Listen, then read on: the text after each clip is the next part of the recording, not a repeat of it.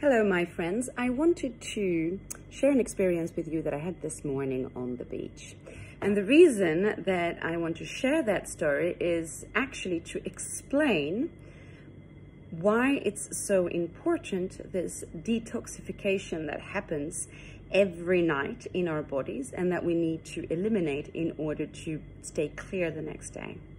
So bear with me until the end of this recording so that you get the gist of it, so that you get the actual point. So basically, this morning I was out on a walk on the beach and I was actually observing how different it is now um, since Bali has opened up again and there's so many tourists coming in. And I felt this sensation of it's like it used to be, right? And as I was walking, I went past this little shack on the beach that was playing Coldplay and Coldplay um, had its big hit, Yellow, back in the early 2000s. And as soon as I heard this song, it brought me back to an old memory. It brought me back to a memory of being quite early 20s, 21 probably, yes, and out backpacking for the first time in my life. And with some friends, we were in Thailand, staying on Koh Phi Phi. And in order to go from one place to the next, you had to take boats because there was actually no possibility to really travel on the actual island. So to go from one beach to the other, basically. So every evening after being out in town, let's say, having dinner, you would have to take a boat to go back to where your accommodation is. And it was always the same. Um, every night going home, this quiet, beautiful space and looking up into the stars, we would lay down in the bo boat and it would always be someone who would start singing and then everyone else would sing along and it would be that song, Yellow. It was a big hit in those days, for those who remember, Coldplay. And of course, because the first line is, look at the stars and see how they shine for you. So when I was walking on the beach this morning, that came back to me very strongly. I think for the music, of course, but then also all the other sense organs were in that place as well, which means that I was in a place next to water, there was the beach, there were um, tourists around and that whole kind of setting. And it brought me back so fully into the memory that I could really sense all of it. Now, what I'm explaining to you is nothing new to anyone. We all have those experiences quite regularly even. Some even would say that the um, smell is the um, strongest, the olfactory uh, memory is the strongest actually memory that we have. I haven't looked into that, but I would believe that that could be definitely true. But what does it really mean?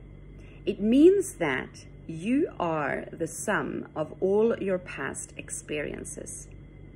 It means that every single thing that you experience has a charge and that goes into your organism. So that 20 years later, you can recollect from the trigger of an external environment, for instance, of a memory, um, trigger of the memory from an external signal, and everything comes back. All the sensory experience come back. The memory from the song, so my ears, my ears were hearing it, and I could remember how it felt. I could remember what it looked like, and I could even remember probably what it smelled like.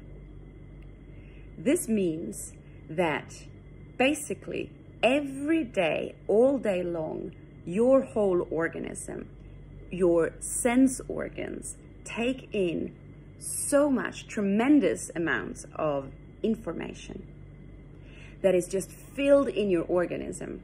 And as we go through the night, and especially if we sleep in the right hours of the night, everything in the body, all the organs are detoxifying.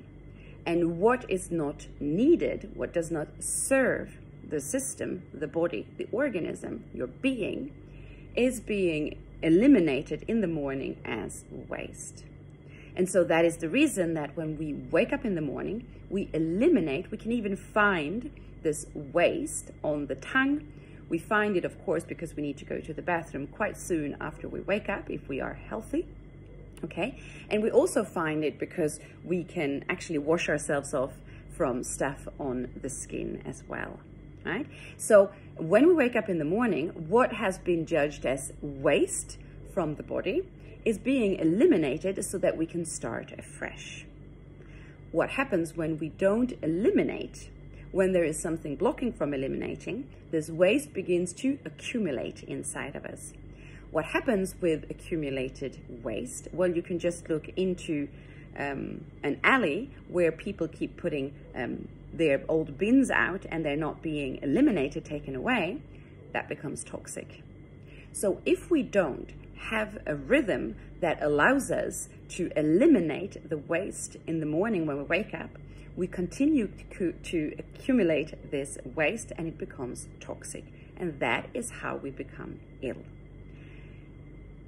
That waste is not only, as you now understood with my example, physical.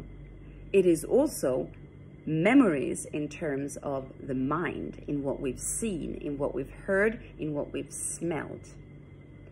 Why do you think that in the elimination process in the morning, we include things like meditation, things like journaling, things like a physical practice? Well, it's because that needs to be cleansed out and eliminated as well. So this is why when I put together the program of eight weeks, I decided that the first thing we need to do is to look into all the things that we do that don't allow us to eliminate regularly every day our toxins, our waste, and then build up progressively a routine that will allow us to do so. Because actually, when you begin to balance out your doshas, what really happens is that you are basically clearing the muddy water so that things become clear, the mind becomes clear. And that is how your true essence shines through. If you would be interested in knowing more on what we offer in the program and potentially have a, a talk with me to see if that could correspond to your needs, all you need to do is to send me a message. Just send me Ayurveda and I will get back to you.